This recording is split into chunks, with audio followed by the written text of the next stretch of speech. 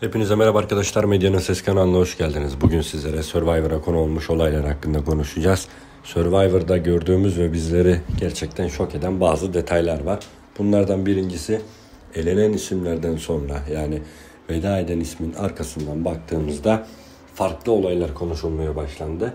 Yunus Emre'nin vedası sakatken neden oynadı, diğerleri neden oynamadı gibi soru işaretleri barındırıyor. Siz bu olaylar hakkında ne düşünüyorsunuz? Sizce de mantıklı mı bu konuşulanlar? Videomuzun yorum kısmında onlardan bahsetmeyi unutmayalım. Diğer detaylara geçecek olursak da aslında hepimizin de bildiği gibi ilk eleme adayının belirleneceği günlerde genelde farklı bir strateji uygulanıyor. Ve buna da bazı insanlar karşı çıkıyor diyebiliriz. Şu an Batuhan'ın tekrardan aday olduğunu söyleyelim. Bu durumda onu biraz sinirlendirmiş gibi gözüküyor.